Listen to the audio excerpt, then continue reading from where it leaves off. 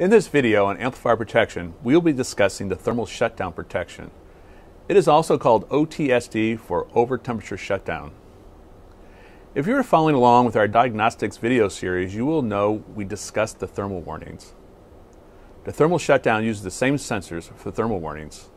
Then you would know that we have both global sensors as well as individual channel sensors.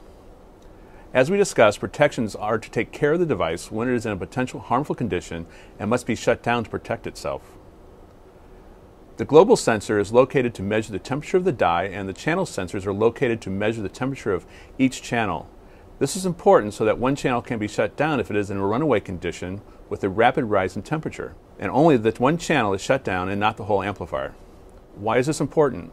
If one channel shuts off and the other channels are operating, then it can be determined that something may be wrong with the speaker wires or the speaker itself on that one channel.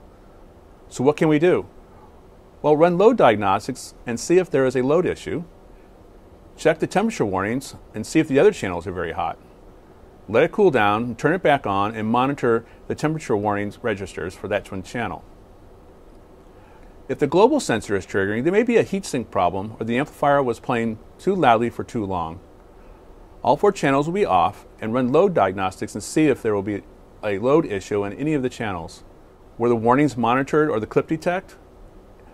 Any actions taken to keep it from getting too hot? So basically, if you use clip detect and the temperature warning correctly, the amplifier should never get to a point of shutting down due to temperature, even under adverse conditions. Well, I'll see you in the next video on amplifier protection, and we will discuss over voltage shutdown and POR or power on reset of our device.